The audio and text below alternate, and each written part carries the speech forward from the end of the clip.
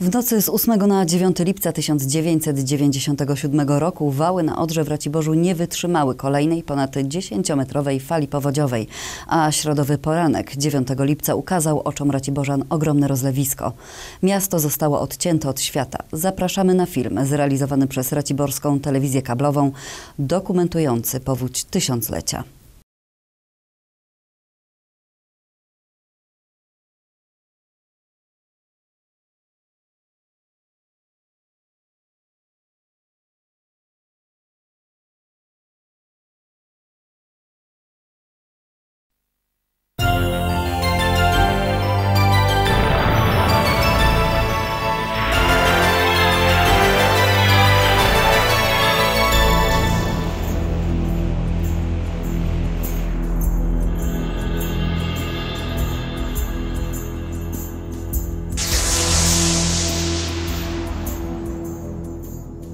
Niedziela 6 lipca. Od kilku dni na Śląsku pada ulewny deszcz.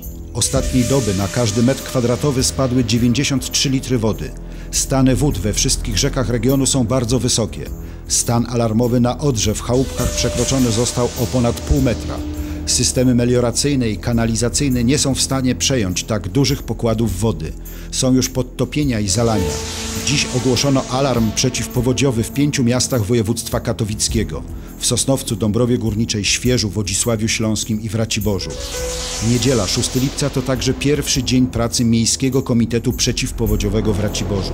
Kieruje nim wiceprezydent Adam Hajduk, a w jego składzie są przedstawiciele znaczących dla funkcjonowania miasta służb. O 20 stany alarmowe na Odrze we wszystkich punktach pomiaru zostały znacząco przekroczone. Poniedziałek 7 lipca. W ciągu kilkunastu ostatnich godzin sytuacja w Raciborzu gwałtownie pogorszyła się. Przekroczenie stanów alarmowych na Odrze ciągle wzrasta. Do południa zalane zostały wiadukty przy ulicy Bosackiej, 1 Maja i Piaskowej. Trwa akcja układania worków z piaskiem w najbardziej zagrożonych punktach miasta. Policja apeluje do kierowców, aby ograniczyli ruch na drogach. Woda płynie niektórymi ulicami, m.in. Kopernika i Starowiejską. Polskie koleje państwowe wstrzymały kursowanie pociągów do i ze stacji Racibórz. Kursują jeszcze autobusy PKM-u i PKS-u. O 20 stan alarmowy na Odrze w Chałupkach przekroczony został o 2,5 metra, a w Miedoni o 160 centymetrów. Wykonanie pomiaru w Krzyżanowicach było już niemożliwe. Woda przykryła tamtejszy punkt kontroli. Na terenie całego powiatu, w zawodowej straży pożarnej i w ochotniczych wprowadzono stan podwyższonej gotowości. Najbardziej niebezpieczne są opady deszczu oraz woda, która spływa z pól. Dlatego też miejsca, gdzie to, to możliwe, zabezpieczamy workami z piaskiem. Na ulicy Brzeskiej, na ulicy Starowiejskiej, w Parku Zamkowym, koło restauracji Zamek. To są te miejsca, gdzie, gdzie Odra może, może wylać. Tam są worki z piaskiem, zabezpieczają. To są jedyne takie zabezpieczenia, które możemy zrobić. Zalane zostały okoliczne gminy, a kolejnym grozi powódź. Pod wodą znajdują się Łęk, Zawada Książęca i Nędza. Wciąż pada ulewny deszcz. Meteorolodzy ostrzegają, że na Śląsku w dalszym ciągu będzie intensywnie padać. Rozpoczęto pierwsze ewakuacje. Dramatyczna sytuacja panuje m.in. w Krzyżanowicach, Chałupkach, Głuchołazach, Miedoni, Koźlu i Racławicach. Późnym popołudniem rozmiar klęski ze śmigłowca ocenia premier Włodzimierz Cimoszewicz. Wtorek, 8 lipca. W ostatnich 20 godzinach na metr kwadratowy spada ponad 40 litrów deszczu. W dalszym ciągu wzrasta poziom wody w Odrze. Stan alarmowy w Miedoni przekroczony został prawie o 3 metry. W Raciborzu zalanych jest około 200 budynków, a także m.in. stadion Osiru. Najbardziej zagrożone są Ostróg, Płonia, Studzienna i Sudu. W chałupkach rwąca woda wyrwała 150 metrów wału ochronnego i zalała Olzę. Pod wodą są Lubomia, Buków i Rydultowy. Trudna sytuacja panuje w rejonach Kuźni Raciborskiej, Turza, Krzyżanowic, Krzanowic i Rudnika. Zaczyna brakować środków technicznych, głównie łodzi motorowych i worków na piasek. Problemem dzisiaj dla nas są nie ludzie, których y, jest dostatecznie wielu i bardzo chętnych, zgłaszających się jeszcze wolontariuszy. E, Natomiast jest problem natury no, takiej technicznej, brakuje worków. Po zapoznaniu się z obecną sytuacją, wicewojewoda katowicki Zygmunt Machnik ogłosił alarm przeciwpowodziowy na terenie całego województwa katowickiego. Zamknięto większość przejść granicznych na południu kraju. Z powodu przerw w dopływie prądu w Raciborzu zaczyna brakować chleba. Odłączona została część numerów telefonicznych. Pogotowie energetyczne odłączyło szereg stacji transformatorowych. Wieczorem zawieszono ostatnie kursy raciborskich autobusów PKM-u i PKS-u. Zamknięto most zamkowy. Ostróg został odcięty od miasta, miasto od okolicznych miejscowości. Straże graniczna i pożarna kontynuują ewakuację. Wciąż pada deszcz, a poziom wody podnosi się.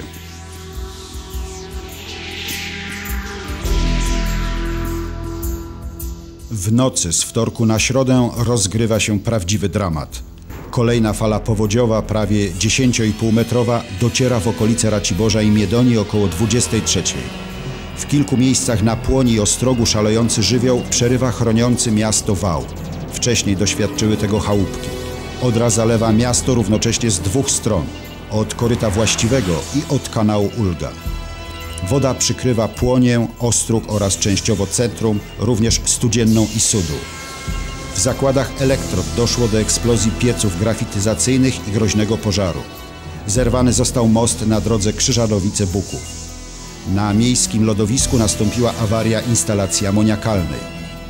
Deszczowy poranek w środę 9 lipca ukazał oczom Raciborzan ogromne rozlewisko. Miasto zostało całkowicie odcięte. Pod wodą znalazły się budynki mieszkalne i biurowe, zakłady produkcyjne i usługowe, cmentarz, hotel, restauracje, szkoły, przedszkola, żłobki, sklepy, hurtownie, ulice, skwery, m.in. dworzec PKP i PKS, dom Złotej Jesieni, Rameta, Despol, Domgos, zakłady graficzne, stacja uzdatniania wody, poczta, wytwórnia aparatury cukrowniczej, zamek Jastowski, telekomunikacja SA, zakład energetyczny, urząd miasta, straż pożarna i miejska, terenowa stacja Sanepid, stacje benzynowe, szkoła mistrzostwa sportowego, Odrostrada, cukrownia, miejskie wodociągi, oczyszczalnia ścieków, telewizja kablowa, zakład gospodarki komunalnej, zakłady elektrod węglowych i fabryka kotłów Rafako. W najniższych miejscach woda sięgała 3 metrów. Następuje skażenie środowiska substancjami ropopochodnymi. Ulatnia się gaz, nie ma prądu i wody, nie działają telefony. Sztab przeciwpowodziowy usytuowany zostaje w siedzibie spółdzielni mieszkaniowej Nowoczesna. Akcją ratowniczą kieruje zastępca komendanta wojewódzkiego Straży Pożarnej brygadier Piotr Buk. Nie działa żadna łączność. Jedyny kontakt ze społeczeństwem możliwy jest dzięki radiu Vanessa. Od rana śmigłowcami ratownicy ewakuują mieszkańców całkowicie zalanej Płoni i Ostroga. Dostarczają żywność, wodę i lekarstwa. W mieście działa kilka punktów pomocy powodzianom. Największy, kierowany przez naczelnika Wydziału Edukacji, Kultury i Spraw Społecznych Mirosława Lenka w szkole podstawowej nr 15.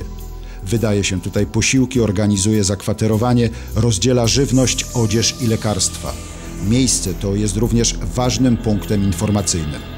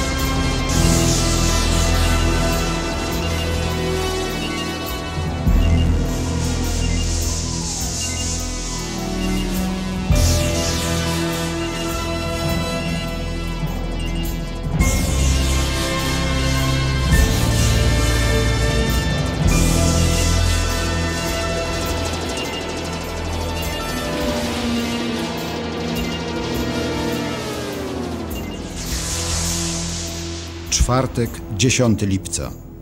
Poziom wody obniżył się o metr. Do godziny 15 o kolejne pół metra.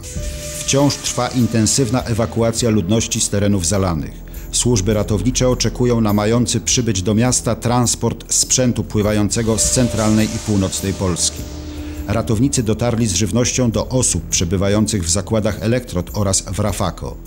Trwa wypompowywanie wody z zalanego szpitala miejskiego. Ratownicy dostarczają żywność i wodę. Wywożą padłe zwierzęta. Do miasta przybywa kompania cystern Państwowej Straży Pożarnej z wodą pitną. Nie ma dróg przejezdnych, którymi można by się było z zachodniej części, ze wschodniej części czy północno-wschodniej części Polski przedostać na teren nasz tutaj raciborski. Po prostu nie ma takiej możliwości. Odra wylała w zasadzie na szerokości od kilkuset do półtorej kilometra na całej długości swojego biegu, począwszy w zasadzie od naszej Miedonii, za Miedonią, w kierunku na północ, aż do wyjścia z województwa. Natomiast to, co się dzieje na terenie opolskiego pod Kędzierzynem, a co podobno się dzieje w mieście w Opolu, to przechodzi w tej chwili już ludzkie pojęcie. My w tej chwili dostaliśmy troszeczkę pomocy. Przyszła pomoc, która jechała okrężną drogą. Jechali do nas 18 godzin, ale dotarli ze sprzętem. Zaczynamy rozprowadzać jednostki na miasto. Yy, Zaczniemy już, ponieważ jak wszyscy widzą, wody zaczęły opadać. Dostarczyliśmy żywność, dostarczyliśmy wodę do tych wszystkich, do których udało się dotrzeć. Idą kolejne transporty żywności i wody. W tej chwili już drogą kołową, lądową na Dębicz będą przychodziły. Most na Raciborski w zasadzie się już w tej chwili odkrywa. Będziemy prawdopodobnie mogli przez ten most niedługo wprowadzać górą, normalnie transportem kołowym gdzieś na wysokość, nie wiem, stacji benzynowej, a później przejmować na amfibię, na łodzie i wpływać z żywnością do miasta. Śmigłowce odleciały. Proszę nie uważać tego, że odleciały dlatego, bo jakaś, jakiś kaprys. Ratujemy w tej chwili ludzi z gminy Rudnik, z Kuźni Raciborskiej, z terenu naszego województwa, jak również daliśmy śmigłowce, oddaliśmy wojskowe, te ciężkie śmigłowce, które tyle nam tutaj pomogły, oddaliśmy do Opola. Tam jest w tej chwili dramatyczna sytuacja. Jeżeli będzie taka pogoda, jak jest, jeżeli nie będzie padać, ani Czesi nie zrobią nam żadnej niespodzianki, to po prostu woda będzie w mieście stopniowo opadała.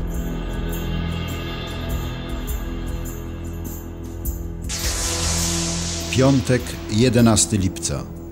Woda wciąż opada, odsłaniając zniszczenia, śmieci i martwe zwierzęta.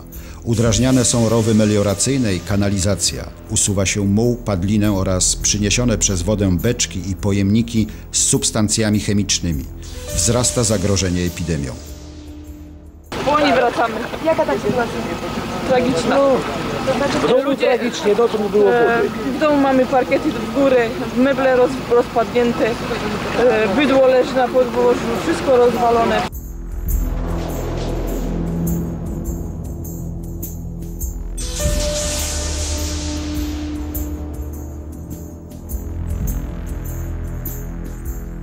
Mamy bardzo dużo zgłoszeń od ludzi, którzy przychodzą do nas, żeby już pompować ich piwnice. My za piwnice prywatne lokatorów będziemy się mogli zająć w momencie, kiedy te pompy, które mamy, będą wykorzystane najpierw właśnie do wypompowania z obiektów ważnych dla miasta, dla funkcjonowania miasta. Od mostu prawie tylko 20 minut i fala wody.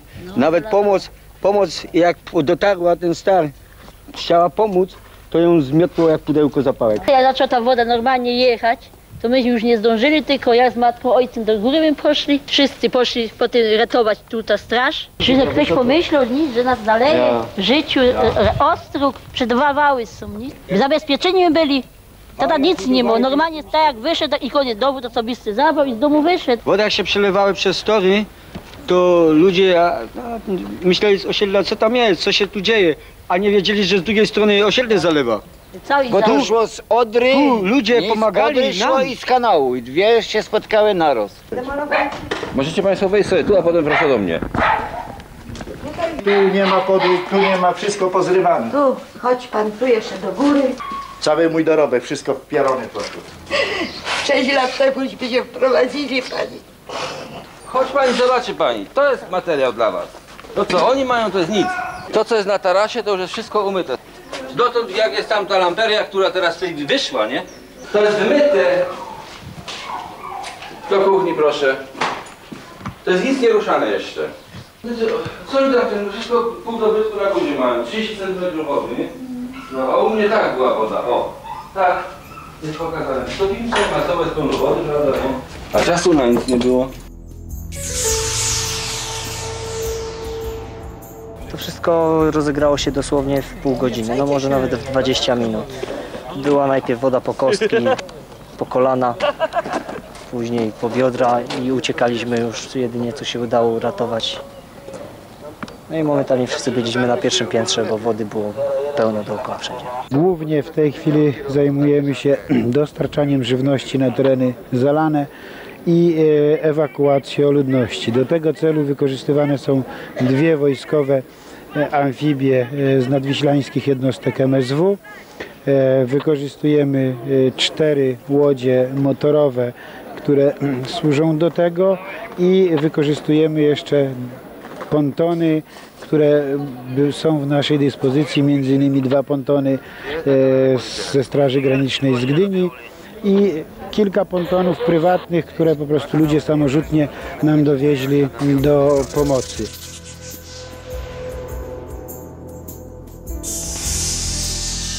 Sobota, 12 lipca. W szpitalu miejskim w Raciborzu prowadzone są szczepienia ochronne. Plutony ratownictwa chemicznego Państwowej Straży Pożarnej neutralizują ropopochodne skażenia. Wody nam brakuje, musimy oszczędzać wodę, no ale mamy środki dezynfekcyjne, spitadermy, dezynfekujemy ręce spirytusem, pozostały sprzęt, no jakoś, jakoś działamy. Oszczędzamy pościel, no bo pralnia nieczynna, no jakoś pracujemy. W mieście trwają prace związane z usuwaniem skutków powodzi.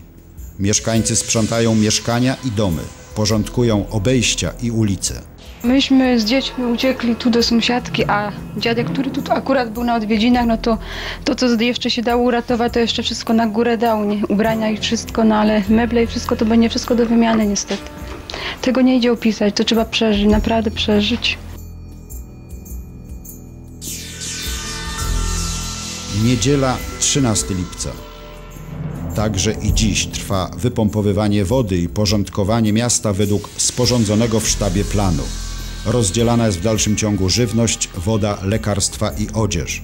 Rozpoczyna się wywóz i utylizacja martwych zwierząt i zniszczonych sprzętów. Poszczególne służby oceniają i szacują straty. Władze samorządowe opracowują pierwsze plany naprawy i odbudowy. Przygotowywane są stosowne wnioski o pomoc finansową i rzeczową. Wypłaca się zasiłki i zapomogi. Został opracowany plan, który jest konsekwentnie realizowany. Powiedzmy, dobrze został przygotowany, efekty są, woda opada, zostaje wyrzucana, zawały do Odry z jednej i z drugiej strony dzielnicy e, Ostróg. Natomiast jeżeli chodzi o płonie, e, tam nie ma kanalizacji e, deszczowej, więc musimy to wypompować na zewnątrz poszczególnych budynków. Te prace trwają. Wielka fala, która zalała Racibórz, odeszła po kilkudziesięciu godzinach. Jednak prawdziwym horrorem było to, co po niej zostało. Woda zalała 60% powierzchni miasta, 2000 hektarów terenu. W całym powiecie pod wodą znalazło się prawie 14 tysięcy hektarów. Ewakuowano ponad 2000 osób. Zalanych zostało prawie 3000 budynków mieszkalnych, w tym 3000 mieszkań w Raciborzu. Wielu osobom woda zabrała dorobek życia. Stracili mieszkania, meble, ubrania, samochody, gospodarstwa, inwentarz. Pod wodą znalazła się cała dzielnica przemysłowa Raciborza.